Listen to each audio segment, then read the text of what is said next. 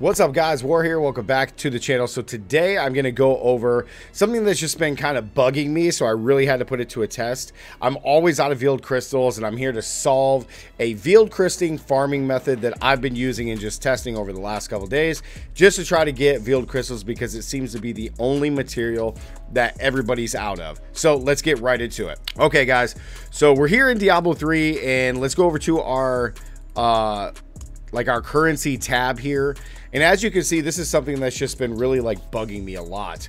Um, I really love all the changes that they've made to a lot of this stuff in season two, and I think it's absolutely fantastic. So, like, we we got plenty of you know the Reddamine, the Blightshade, Lifesbane, and a lot of this stuff. Gallowvine, which was huge for like just making your potions and crafting elixirs or crafting incense. So you find a very very nice little you know, sack of all of this stuff. And even like our iron chunks, man, we're at 15k, plenty of scattered prisms for when we're adding sockets, silver ore, plenty of that stuff for upgrading, etc.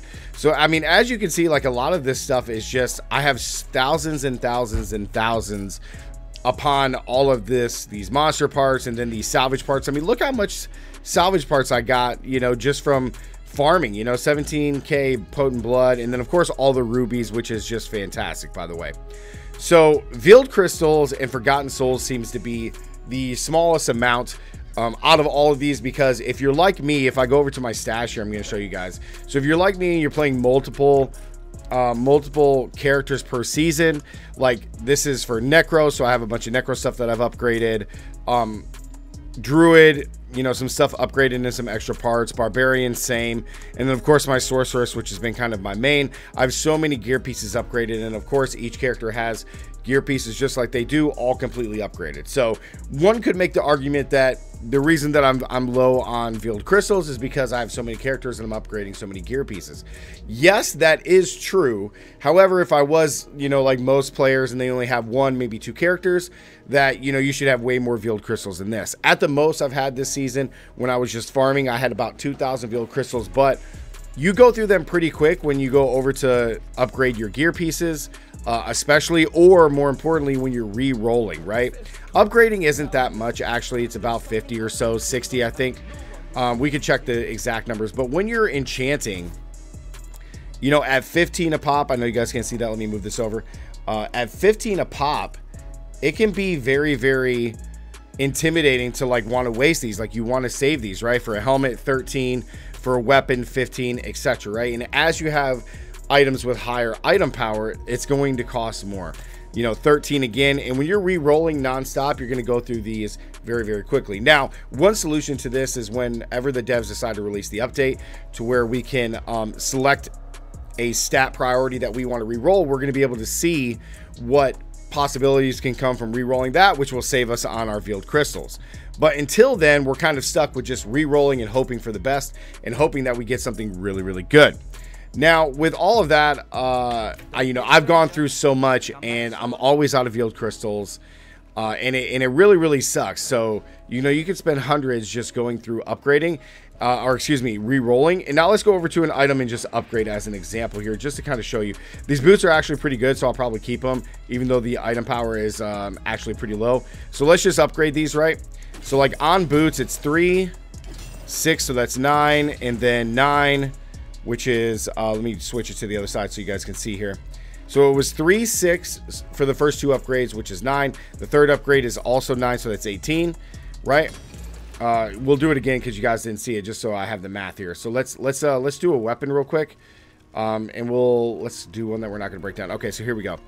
So you got 8 for a weapon, 16, which is 24, another 24, which is 48, just to level it uh, there, which isn't bad. Like 48 veiled crystals isn't bad. And then it's about another 36 to 40 for an armor piece, which really isn't bad, you know, when you think about it in in its entirety, because you're like, oh, that's not that bad. I only lost, you know, 60 forgotten or veiled crystals. It's not a big deal.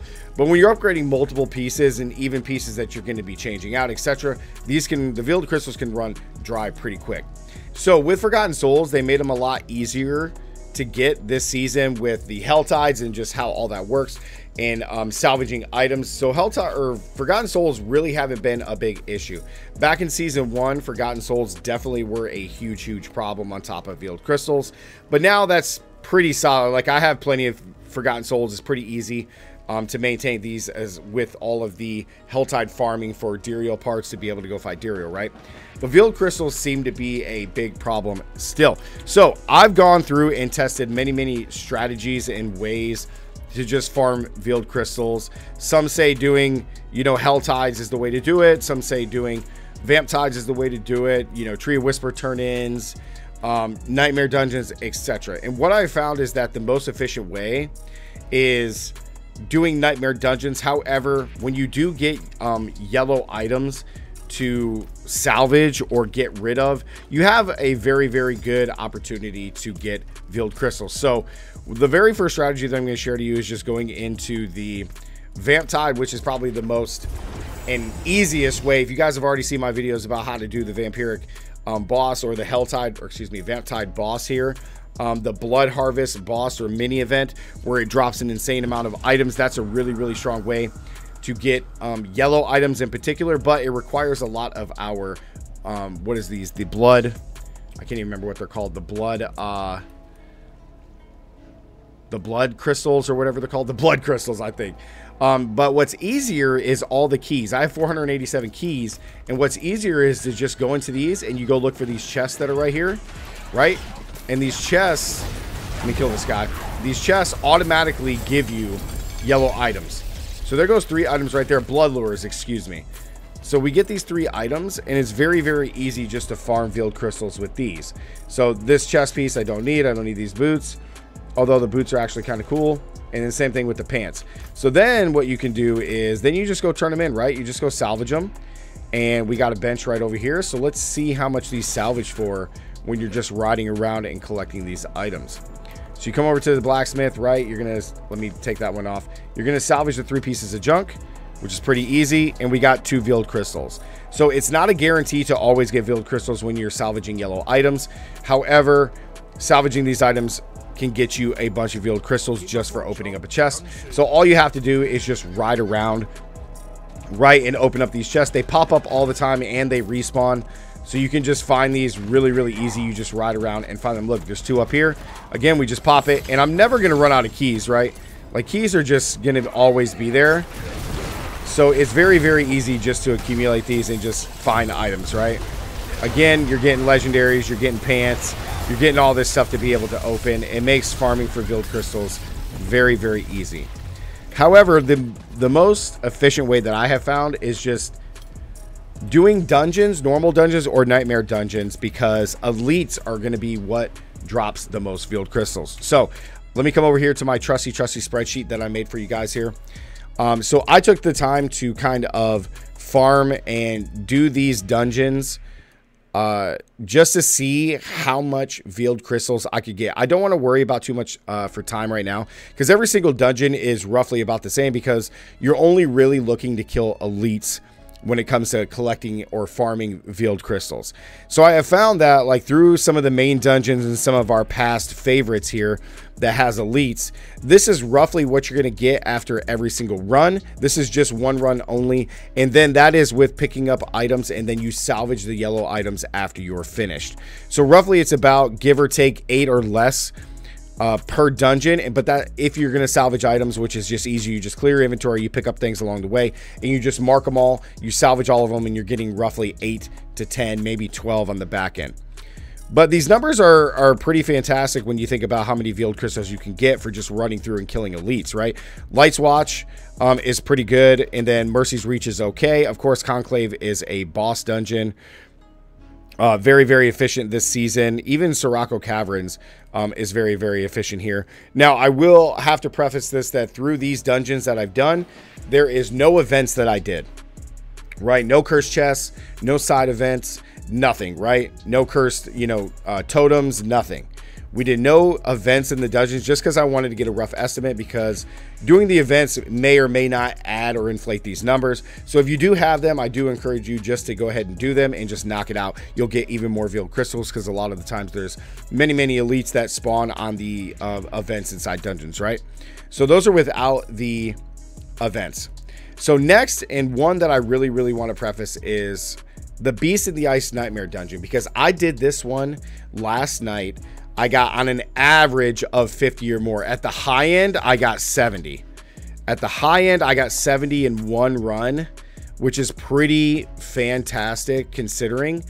Now, if you guys do not know, Beast in the Ice is a nightmare dungeon, and it is one that you can actually go and craft. It is the new Beast in the Ice boss that you can do for Season 2, Season of Blood, which is actually really cool. Now, the equivalent of the dungeon is a level 31 nightmare dungeon however all the monsters are level 85 or higher which makes them you know makes it fairly easy when you're trying to farm so all you're going to do is come over to your occultist and you're going to craft a sigil. It's like one of the first ones that you get here.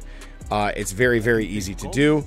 And you just craft, you go to Ancestral and you craft one, boom, done and done. Now remember guys that the Glacial Fissure, the, the Nightmare Sigil is the level, so tier 31 plus 54, which would be 85, right? It's an 85 Nightmare Dungeon. It's very, very easy to do. And more importantly, there is a crap ton of elites in this dungeon.